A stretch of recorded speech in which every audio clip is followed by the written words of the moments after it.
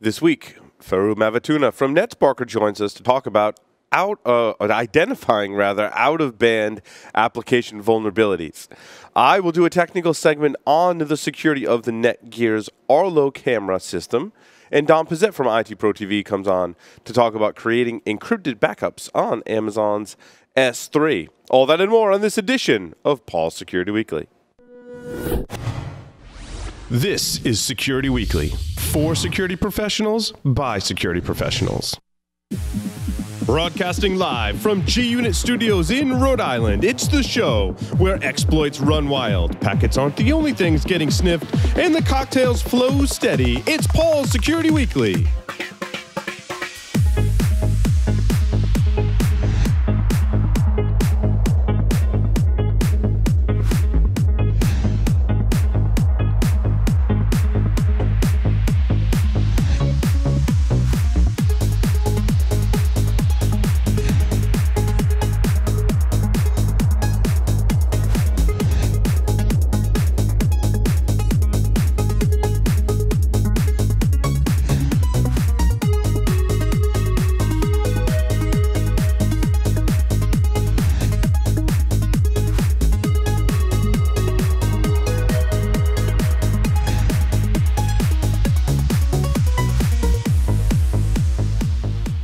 Brought to you by In Control of Cyber Risk with Tenable.io, the first vulnerability management platform built for today's elastic assets like cloud, containers, and web apps. Discover a fresh, asset based approach that prioritizes vulnerabilities while seamlessly integrating into your environment. And improve ROI with the first elastic licensing approach based on assets, not IP addresses. Tenable.io delivers the data and context you need to secure your elastic attack surface. Start your free Tenable.io trial today by visiting Tenable.io. Onapsis is the leading provider of solutions to protect ERP systems from cyber attacks. Customers can secure their SAP and Oracle business critical platforms from espionage, sabotage, and financial fraud risks. Visit them on the web at onapsis.com. The Threat Connect platform enables organizations to identify, manage, and block threats faster with threat intelligence, automation, and orchestration, providing security teams a platform to unite their people, processes, and technologies behind an intelligence driven defense. Threat Connect helps increase visibility into networks and integrates with defensive tools to close the gap between threat detection and response. Get your free Threat Connect account today by visiting threatconnect.com forward slash security weekly.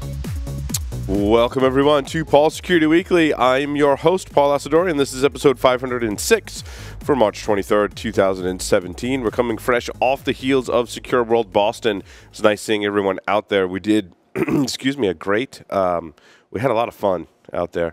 We did a hacker trivia. Uh, game inside the booth for the first time. As many of you know, uh, really quick before we get to to Ferruh, traditionally we've sold Hack Naked T-shirts at conferences. And while that is a lot of fun, I wanted to do something different starting this year at conferences. It turns out asking people about hacker movie trivia is really fun too.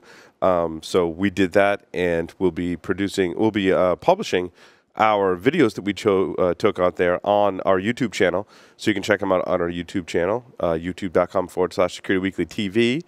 Um, we did some shenanigans in the vendor area if our sponsors were there. We spent extra time uh, with our sponsors in the in the vendor area. So all in all, it was a lot of fun. Now, I do have a couple more quick announcements. Sorry, Ferruh. Um, Actually, just one. Before we get started, speaking of conferences in Boston, the 10th anniversary edition of Source Boston is being held this April, including training sessions being held on April 24th through the 25th, and conference talks on the 26th through the 27th, featuring awesome speakers from the security community. Events will take place in Boston at the Courtyard Marriott downtown, and Security Weekly listeners receive a $100 off discount, either the training or conference passes, using the code Security Weekly. Now visit sourceconference.com very soon because um, the prices are going to go up. Excuse me. Speaking with Rob Shane at uh, uh, Secure World because uh, we're in Boston. Rob's in Boston as well. The prices are going up, so we will be there at Source Boston. I will be speaking about IoT security, and we will be interviewing people in the booth uh, doing hacker trivia. Now, what we're, what we're doing is we're picking different themes for conferences. This one was hacker movie trivia, and if you come to our booth and you play hacker movie trivia, we reach back out to the people who got the most questions right, and they're going to participate in a um, segment that we'll do on the show on hacker movies. So how cool is that? So you kind of compete for your chance to be on Security Weekly, and uh, so we'll pick a different theme for various conferences. I may stick with the same theme for Source Boston. I may switch it up a little bit because a lot of people that attended heard me say the answers a lot uh, of the trivia game. So, Ferruh, uh, do you want to play trivia or no? No, maybe. Do you like hacker movies? I've been saying that a lot over the past two days. Uh, oh, okay. That would explain why he didn't uh, respond to me and why he has a look of concern on his face right now because I can see that.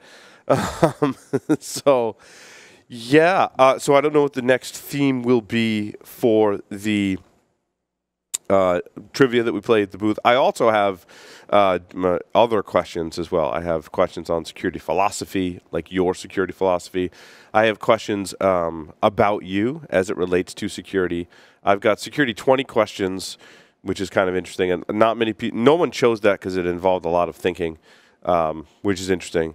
And so some people were like, I really stink at hacker movie uh, trivia, but that I found makes it like way more fun because if they don't know the answers, I just I keep giving hints to them until they get the answer. Um, sometimes I have to spell it out for them, and uh, it was it was a lot of fun. So we will bring some of that footage uh, to the show uh, as well, and there is a hilarious video of me running around in the, the vendor area.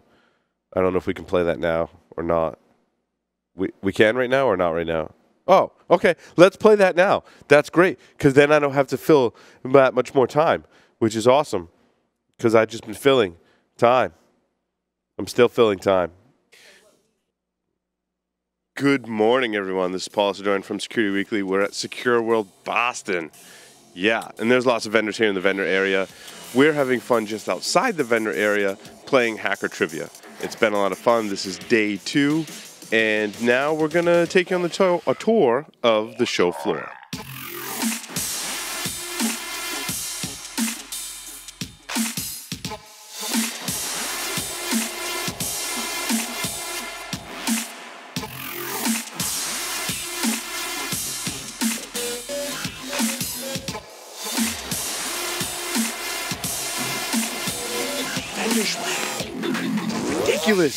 Ridiculous. Just takes a broom.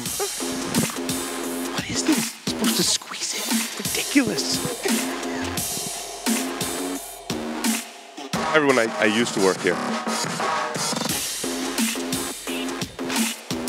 You got a little klepto in you, huh?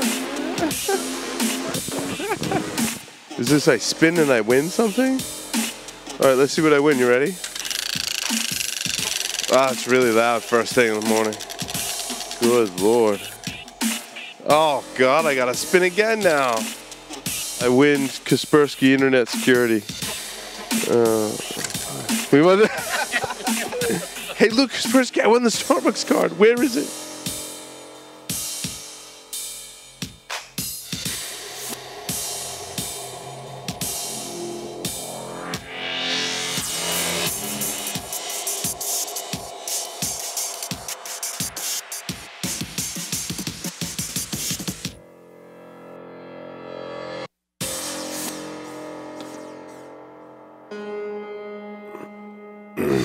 Welcome back, everyone.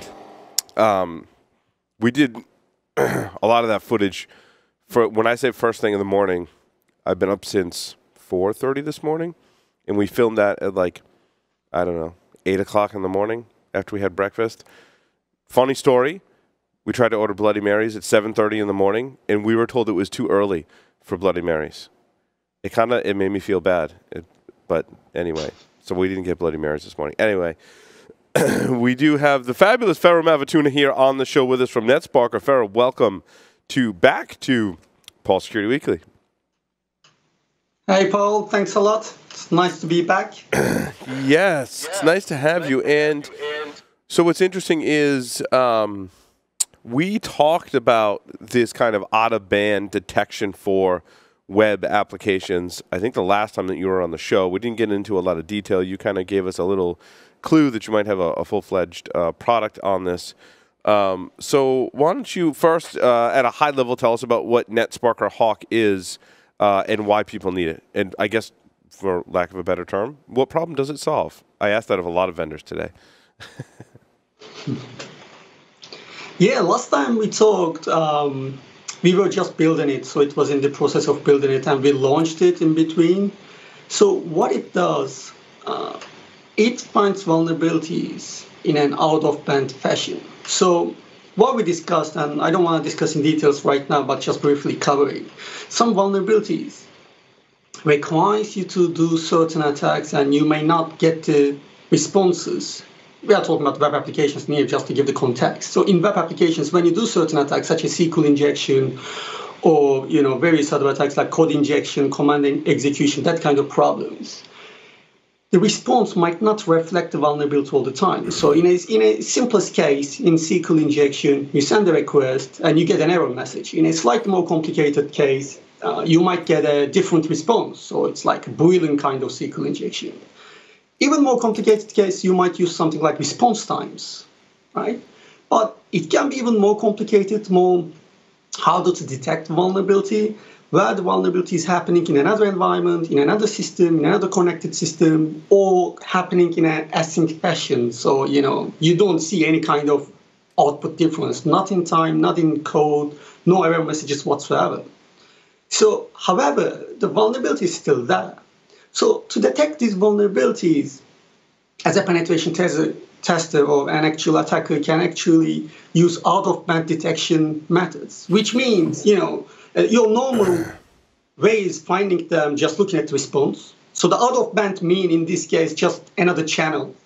And one of the most reliable channels are using DNS. So you have a DNS custom DNS server, and then you make you use, you exploit the vulnerability in a way where the system, exploited system, resolves that particular DNS query, which you mentioned the DNS server, so you know whether the attack actually worked or not. So you can confirm it by observing your DNS server. So out-of-band vulnerabilities is, you know, not, they're just normal vulnerabilities, but the only way to detect them are sometimes out-of-band ways. And this is what we built into NetSparker. So NetSparker Hawk is pretty much what we call the whole infrastructure to do this, which is a custom DNS server with, that we built. And then the next NetSparker component, we talked with the DNS server, and obviously relevant attack payloads. And all the process goes into the attack and detection phase. Uh, no, and all the communication between these systems. I'm reminded of a uh, really fun example of something uh, along these lines. And I, re- I forget the exact application. Uh, uh maybe you can help me uh, fill in the blanks. Where I have, like, let's say it's a greeting card or some kind of postcard, something in the physical world, right? And I write my uh, attack on it, right? Like maybe the title of the greeting card or whatever is like my SQL injection attack or my cross-site scripting attack then I have to like scan that in or give that or mail that somewhere, right? That gets processed by a computer and maybe I get mailed something back, right? And somewhere in that process my attack code is running and my end result is like I have a physical wedding invitation now that has SQL injection or, or something ridiculous uh, on it, but somewhere in that process, right, the uh, my code has been processed. Is that am I is that like a good example or just an okay example? No, that's that's actually a very good example. And when you told that, I thought about like, you know, another thing kind of relevant. So think about the most popular, you know, one of the most popular jokes about SQL injection that, you know, you you type your student name, your your, your you know, mm-hmm. child name, register it the school as Bobby Drop Tables. Right. Uh, so actually, Bobby drop tables is a bad attack. Not that it's only dropping tables, but also you don't know whether the attack worked or not. Yes. You just don't know. So actually, instead of Bobby drop tables, you could have done a, you know, one could have done a much smarter attack and resolve a DNS something like bobby.attacker.com and then you can put it in anywhere. It can be the name, it can be a postcard, it can be a license plate. And if it's got executed, you actually will be informed, and the information will include where did it get executed, which country, which IP address, effectively, right? And when, obviously, and the time. Mm-hmm. So you can actually put a really blind payload and this can be cross-site scripting. This can be SQL injection. It works, you know, with various attacks. Mm-hmm. And then one day you can receive an email or you know get a report that says, "Okay, your attack just got executed," and I think that would be cool. Like as you said, just put your payload to postcards and just sit and wait. so, Ferruh, what's in each case of cross-site scripting and SQL injection? What like how are you triggering the DNS lookup? Like, eh, I'm sure like lots of different software works differently. Like, how do you know where the DNS lookup is going to take place? Right. Actually, that you don't know. I mean, what we do, for example, if SQL injection, you make your attacks according to the backend, if you know the backend database, or for all the databases that that you know of. And then if the SQL query goes into one of those databases and gets executed, then you know. Cross-site scripting, though, is kind of a different beast and much cooler, actually. What is cool about cross-site scripting? You made a cross-site scripting attack, and let's let's explain a, um, an actual real-world case. So imagine we can say simple uh, simple example like pick WordPress, very common example. So there is a cross-site scripting in WordPress admin backend. So you do the injection from the front end, mm-hmm. but for cross-site scripting to get executed, someone need to need to actually load that backend page, which is obviously most likely either an editor or an administrator, so someone got the right privileges. So once they see the page, this is kind of interesting because in SQL injection varies pretty much all other attack vectors, what happens is DNS will be resolved by one of the servers. You know, one of the servers in the infrastructure that you're attacking. But in cross-site scripting, as the cross-site scripting itself, the attack is about the client, not the server. So in this particular case, when you put your cross-site scripting, it's just sitting in the backend of WordPress. And when administrator logged in and maybe looking at the command or you know whatever, however the injection is made, maybe the, the log report, whatever, then they the cross-site scripting gets executed and when it's got executed, it simply makes a DNS query. You know, obviously it's not a like JavaScript doesn't have a resolve this DNS kind of thing, but we are talking about it tries to make a request to a your domain name, and obviously domain gets resolved first, which then you get informed. Right. So you, if your cross-site scripting is even an image tag in a domain, when it loads that image, it could be a completely transparent image. It would trigger the DNS uh, request. Correct.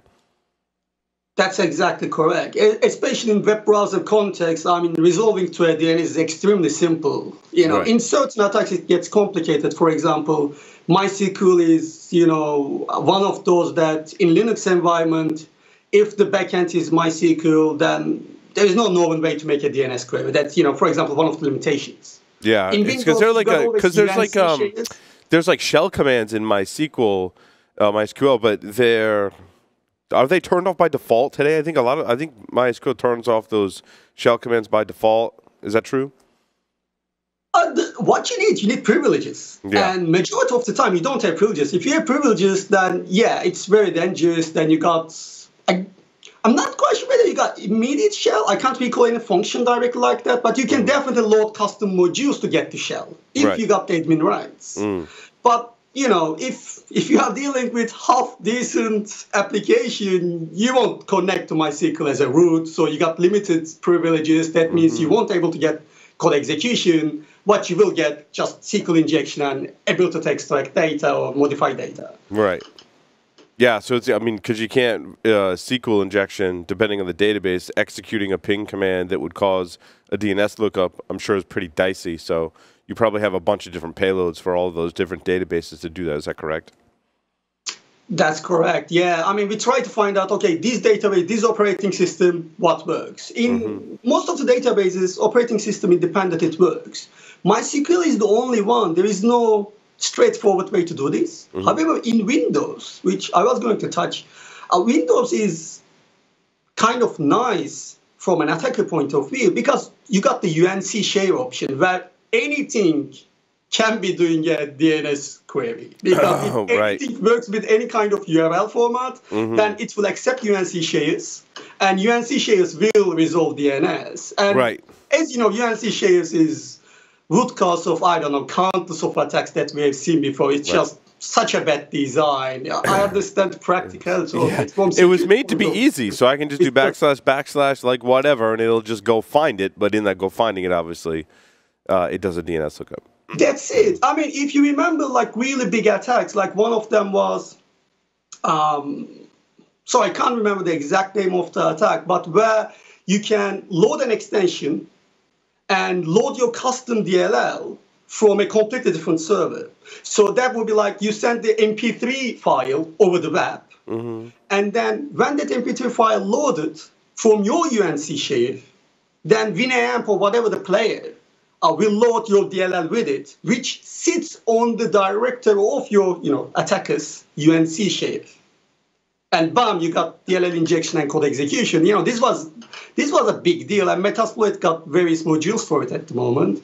There are like so many similar attacks I can think of that's being successfully exploited just because UNC share is a thing. mm. Yeah, no, that's great. So. Uh, going back to your WordPress example, I think that's a, a great example as WordPress is always in the press with some kind of vulnerability. I think in their defense, they have gotten better in providing uh, more updates and making updates easier for both the WordPress engine itself and plugins. That's not to say that people still are reluctant to be proactive in patching their WordPress because I think the level of user is pretty low. They're like, I don't know, I just use it to like make a website. I don't know about what this update thing is. Um, but waiting for someone to log into the admin interface is – something that could very easily, Ferruh, fall out of scope in a web application penetration test. Now, do you see the scopes being uh, relaxed and the time frames going, or do you see more people uh, in organizations realizing that this is a, a, an attack vector and searching for tools? I'd imagine you see uh, being in the business, right, seeing people searching uh, for tools. Yeah, you know, the scope discussion is kind of an ongoing joke almost, you know, between pentesters, actual attackers, and bug bounty hunters, whomever you call. Mm-hmm. So I think you agree, but to be honest, there are so many companies, they would even consider any kind of exploitation out of scope. So, which boils down to uh, in network, I kind of do understand because unless you're in an environment that you can break, so it's not production, network exploitation is dangerous, quite dangerous. So you can mess it up quite easily. Right. Web application is not like that. If, you know, if you know what you're doing, you're not going to break anything on production while exploiting stuff. So the point being, um, you're right. I think majority of the companies will say that's out of scope. It's almost social engineering and all of the bits. But you know, it's it's a real attack vector, and we know, for example, Apache organization, Apache Foundation, got hacked from an XSS vulnerability just like that. And you know, they didn't call it out of scope or you know, we got hacked, but it was out of scope. You know, how did that happen? You know, you can't do that. You got hacked, you got hacked. So it's it's an attack surface whether you put it in your scope or not. right. Um, so um, what um, what are some of the other examples? Of vulnerability, excuse me, vulnerabilities that you're finding using the uh, uh, NetSparker Hawk? Right. Uh, we got cross-site scripting for sure, then SQL injection and remote code executions and code evaluation. Code evaluation, what we refer as like if you are if you're able to inject a piece of code such as PHP, ASP, you know, Ruby, whatever, you know, when you evaluate an actual code. And then the code injection where you actually execute code on the operating system level, shell level. And then uh, external um, XML, external entity attacks, that's another cool event. So, you know, you got your XML parser actually trying to resolve an entity And again, you can have it blindly. So that pass in majority of the cases, actually, external, ex- external entity is a really good attack to prove, to show, you know, kind of a, a, really showcase for this out of band detection. Because majority of the cases, parsers work in the back at the back end. And also, it's quite common. They work as a bulk operation, not necessarily on real time. So, in all those cases, when you have successful payload, you won't immediately get the results. It will get executed somewhere else. It will get executed in a different thread that you won't able to see the results. Hence, again, resolving DNS to figure out whether the attack got successful today, tonight, or whatever is a really good example for that. Mm. So when you say code injection, is that uh, local include, remote file include, or some other kind of vector that, that's triggering that?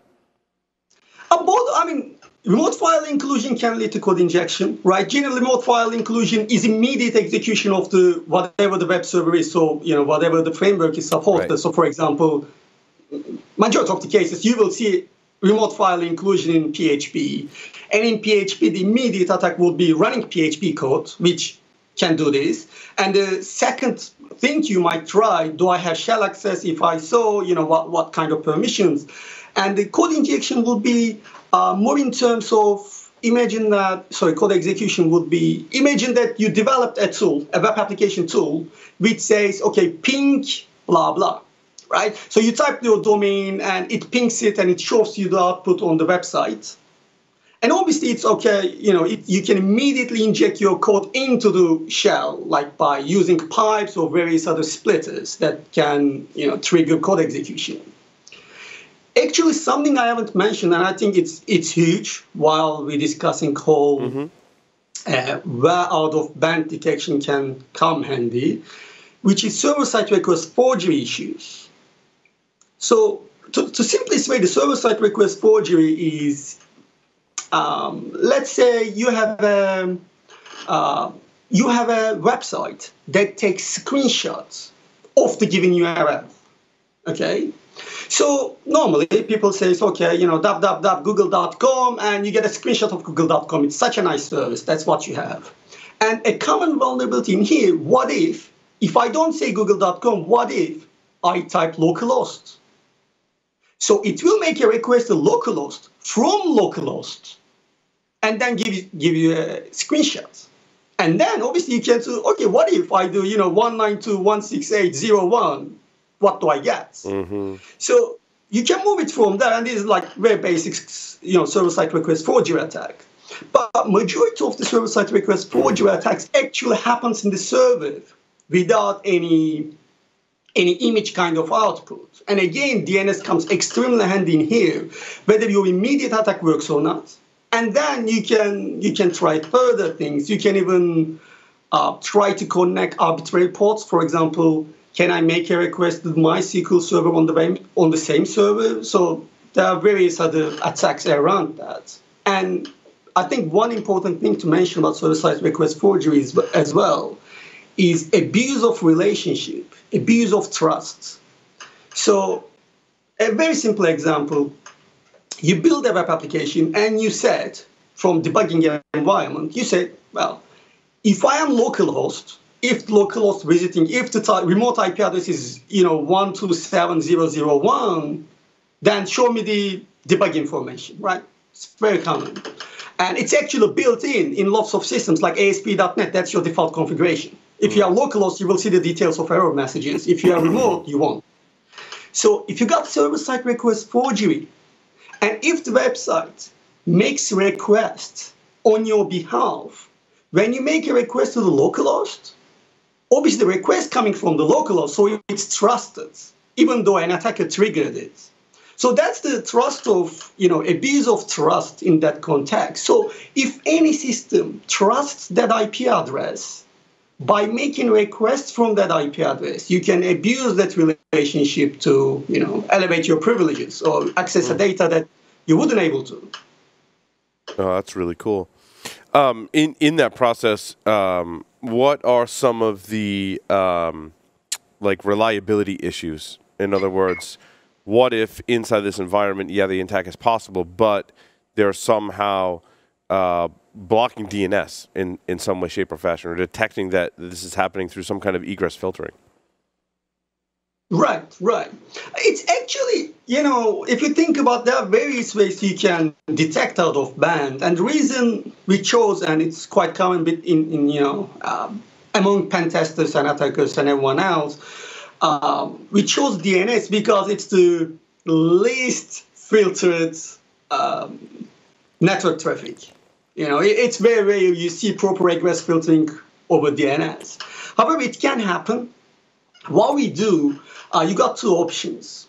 Uh, one, you can have our DNS server and you can use it, which is the default option. The other option is they're also deploying a Docker image of that private DNS server, which you can deploy into your own environment. So if you are doing testing, but if you know you have a complete you have a completely isolated environment, even a DNS query will not make out, then you can use that option. But if you are talking about the real world where you have a network and sorry, the target has a network, you're mm. trying to exploit it, but they have really aggressive aggressive filtering, nothing gets out then to be honest, it's very unlikely you will find any any vulnerabilities that requires out of band detection. Or you might go for some tricky options depending on the application you are testing. Something like if this works, write an HTML file to this public directory, and then you have to go manually and check that now and then to see whether it got executed and you got that public directory written there. but you know, in our experience, in my personal experience, it's extremely rare to see DNS is isolated unless you are a, in a restricted network. So mm-hmm. if you are doing government, military, that kind of thing, thing, yeah, you will have air gap and nothing will go out anyway, not DNS, nothing. And then if you if you, if you still want this, uh, and if you have an option, generally you won't have, then you need a private DNS server to detect it. And if you don't have, you don't have many options. It's it gets extremely hard to detect it. yeah, because there's no pattern to this either. In other words, when we detect, for example, DNS, yeah, yeah but, but like for a back door, like when I compromise a system and I use DNS, a lot of times, uh, as you probably well know, Ferruh, like one host will make 60 or 70 or 80% more DNS queries than any other host on the network because it's the backdoor channel, and that's pretty easy to spot. Now, still, people don't spot that. But in your scenario, it's really just like one DNS request, dude, that's going out. And like, who is, unless there's some kind of signature, but you can obviously change your signature, right? Uh, and how you're dynamically generating whatever query they're running. So I, I think this is really hard to uh, detect and prevent, correct? That's that's very good assessment. That's very correct. I mean, and as you said, you can't even change the domain. Well, as a signature, you can say, okay, this is the default domain that yeah. NetSparker makes request, so you can edit your signatures. But that would be a signature for NetSparker, you know, that wouldn't catch anything else. Or even as a NetSparker user, you can actually change it. So mm-hmm. as you said, it's just one DNS request. There is no proper malicious. It's not trying to exfiltrate data. As you said, in, in backdoor kind of scenarios, like the the purpose is the whole traffic goes to a DNS, which is extremely noisy and unusual for DNS traffic. You don't see that kind of, you know, DNS traffic from one server, especially if it peaks and all that kind of stuff. But in this case, it's just one DNS resolve and like, you know, today's computer servers, web applications, they just DNS queries all day long, all day, you know, all, all if, if you sit and watch, it's just so much noise in every single network today. I I can't realistically think anyone would have noticed it. yeah, and most web applications typically do DNS lookups of some kind, um, and it is allowed in this scenario. So I don't I don't see that being a a, a roadblock. Um, so how are some of these um, exploits being verified? We kind of uh, touched on this uh, before, um, but uh, in terms of the different databases, like how other than the DNS response coming back, like what specific exploits are you trying uh, inside of there, especially when it comes to a, a SQL injection? Well, I know we talked about MySQL, and you said some of the other ones were easy. So, like, are there just like basically ping commands in some of these other databases that will generate a DNS query? Yeah, majority of the other databases have some sort of feature to connect a remote server right? The original feature, for example, to connect a remote database to uh, attach a table or export data or import data, something like that. I see. But okay. you don't want that, you know, you don't really care whether the function is right. successfully executed or not. All you do is, you know, we give the DNS and they just try to resolve and bam, you got your, you know, you got confirmation. But we actually go one step further than that because it's quite tricky. one DNS result doesn't mean you got a vulnerability. To give you an idea, you might make an attack and the DNS is resolved. That doesn't actually mean you got it right. That doesn't mean it's vulnerable just yet. Because if you have a system, let's say, sitting on the network and just watching all the domains, all the DNS, all, all the um, all the traffic, right? Or a better example, a web application might resolve the DNS for other purposes. So once the DNS is resolved, that doesn't mean database resolved it. Application layer might be resolved for other purposes, and that's not a vulnerability by itself. It's just resolved the DNS query. So what we do, just like you know, uh, when we report SQL injection cross-site scripting with other detections, we prove the vulnerability got executed, and we give the user a proof. For example, in SQL injection, we don't just tell you uh, you got a SQL injection. NetSparker will show you the name of the database and you know to prove that the vulnerability exists it's not just it might be vulnerable an attacker might there is no might it just says okay you are vulnerable to sql injection and use your database name to prove that the vulnerability is real. So the very same idea in dns queries what we do we actually execute code to populate a subdomain in that dns query itself. To give you an idea let's say a simple example cross-site scripting. Cross-site scripting attack will include a piece of JavaScript that gets executed to produce a DNS query string. So once it's produced, you know the JavaScript got executed. So mm-hmm. unless that JavaScript got executed, you won't get DN, you won't get that DNS query. You, you will get something different. And then we know, okay, it's been resolved, but it's not actually vulnerable. It's something else. Something else is resolving our DNS queries. So this kind of improves the quality of detection significantly and also proves that the particular code is executed in the relevant subsystem, whether that subsystem is JavaScript, you know, in your browser effectively, or a SQL server, MySQL, a database server, or it can be a shell execution, you know, code evaluation in PHP environment or ASP.NET environment. As you can imagine, list goes on. It, it gets kind of complicated, mm-hmm. but that's effectively what we do. Yeah, it's interesting. It's kind of like uh, if you were to break in a house and do something, execute, not even just steal something, right? You're not stealing anything. You're executing a process and then verifying it once you have left the house, essentially um, which I think is really cool. Like you said, you can do this very safely uh, without really impacting anything else in a, a negative way. Um, my question is in some of the customers that have started using this or helped you test this feature, what are some of the, like the cool vulnerabilities that they've uh, found and how they integrated this into their, their web application scanning processes? Right. I I mean I personally haven't heard a lot uh, news yet. Also, you know, keep in mind it's very new feature. We recently shipped it, so you know, um, I'm not quite sure. And but to be fair, majority of the customers don't come back to us and say we found this vulnerability. Oh, interesting. So don't hear that often. yeah.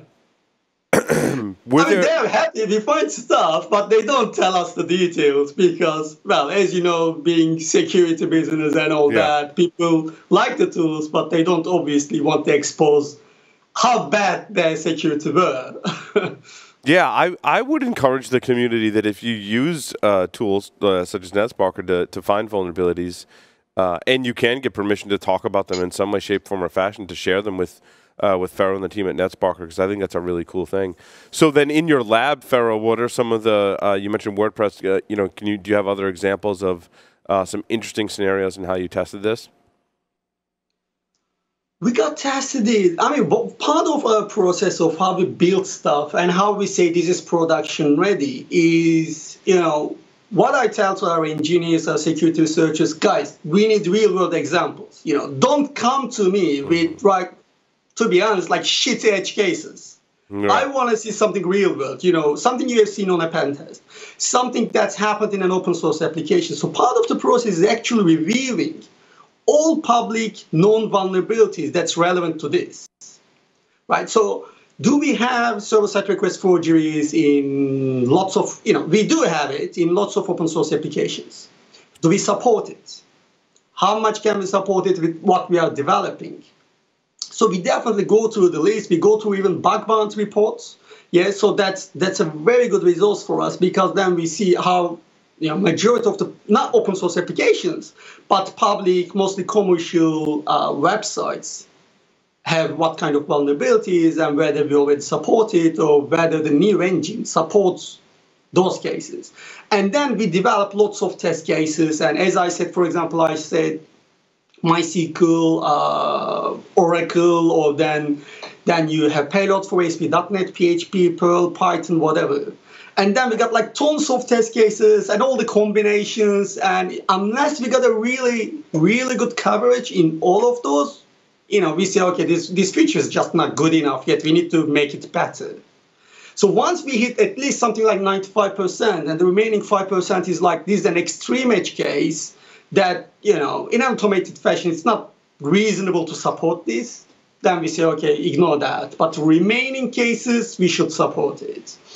So rather than you know we find fences itself we go this like really systematical approach of what, what is out there create a matrix of all the possibilities all the combinations all the operating system database systems frameworks what is supported what's not supported then create test cases and then work on that. And in that note for example we got about 2500 test cases right now for all these individual vulnerabilities and every time an engineer, a developer, changes a piece of code in NetSparker, we test NetSparker against all of them all over again, just to be sure nothing is broken, everything still works, and all the new test cases are detected as well. So that's that's how we keep improving without breaking anything. So that's like you're you've automated both regression and progression testing inside of your product. Oh yeah, we got we are extreme level of regression testing. I mean, in addition to do all the you know quality stuff like we got unit testing and so many other bits, but the regression testing system all custom built and supported by lots of security engineers that build test cases over the years. For example, when we first started, we have about seven, 750. Now we got about 2,500. Mm. And when a customer say, so when we see an open source application or when we see a bug report that talks about a vulnerability, and we look at it and we say, okay, NetSparker doesn't find it, but it should have. So let's create a test case. Let's improve the code to match this, but also let's ensure that all the things that we know before still works while detecting this one more thing. And generally, that's, you know, we see one more thing, but we implement it with, with like five, ten cases because even though that's how it happened or observed in one real world case, we, you know, work on it and we figure out what are the other possibilities out there. If it's a SQL injection, okay, what is the beginning of the syntax? What is the end of it? Is it integer? Is it string? Is it one group, two group, three groups? You know, whatever. And then you create all the combinations, all the test cases. Then the code should, you know, find every single one of them, and then we are like, okay, it's good, it's working. no, that's a fantastic process. Thank you for those insights, uh, into your your process. I think that's really awesome. Um, and I've always loved working with the NetSparker tool uh, for just that reason is the attention to detail and the uh, like virtually no false positives. Uh, they're very difficult to come by because of that level of testing, um, which I think is great. um, so anything else? Uh, so NetSparker Hawk, um, just talk a little bit about how people can get it and how they have to deploy it and start using it. Right. Um, if you have the latest version of NetSparker, you have it. By default, it works with our DNS server, mm-hmm. which you can actually go to settings and there's a NetSparker Hawk section that You can even uh, test it, you know, to see from where you are sitting, everything works fine. That NetSparker can reach out to the DNS, uh, the SSL setting, everything works, etc. But also we provide a Docker image. If you like, you can deploy your instance, and then you can configure NetSparker to use that instance, and then it's all your private. But you know, I, I need to make you know uh, mention this because it's quite important. Even though we have a default setup, we designed in a way which there is no knowledge from our end. So even let's say our DNS server got accessed or we access it or someone else or whatever, you know, obviously being a security company, we always think the worst case scenario, what happens if we got hacked kind of mm-hmm. theory right? So we, we think about all the possibilities and all that. And we designed in a way where nothing in clear text is stored. So everything is hash based. So if you got the database, you know they're attacked, you have no idea or no storage of where they're coming from. So the client knows the keys and they need to ask with the keys whether that a certain hash exists or not. But the hash itself can be resolved to effectively nothing. So it's just the client knows the attacks, and we just store some responses but from the response you cannot make any sense or you cannot revert it you know reverse it back to the domain so even if we log into that, that server look into the database and all that we got no data so we, we designed that way because you know obviously that's the right way to do it right yeah it, it's just a, a hash on your server that points back to something that the client knows but you don't know what the client knows Exactly. And client only checks whether that hash exists or not. Right. You know, if hash exists, that means attack was successful. Mm-hmm. If it doesn't exist, it wasn't successful. But by looking at the hash, or we were, you know, uh, you can't. Yeah, I mean, even if you get the clear text of the hash, it's. I'm saying hash is just, you know, not necessarily a hash. It's just a random piece of string. Doesn't mean anything. Awesome. uh, anything else you want our listeners to know, uh, This has been awesome and very educational for both uh, for myself, which typically that means it's very educational for our listeners as well. Uh, anything else you want to tell us about this new feature in the product? Nothing in particular. I think, as I said, I'm really proud of what we did, and I really like the idea because, as a you know, as an ex-pen tester, I know how painful to find this kind of vulnerabilities. And in real world, what happens is, even as a manual pen tester, you test stuff and you don't go that deep because it gets too complicated, too time consuming, etc., etc.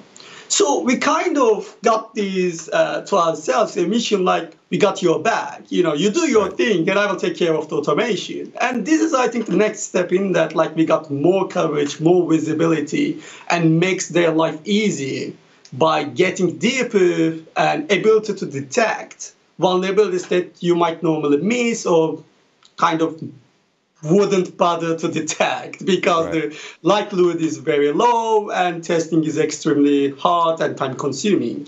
Yeah, no, I, I agree. You know, waiting for a WordPress admin to log in, that could be hours or that could be weeks. And you know, if we once you get into weeks, that's uh, you know probably way beyond the way uh, the amount of time you have for the test.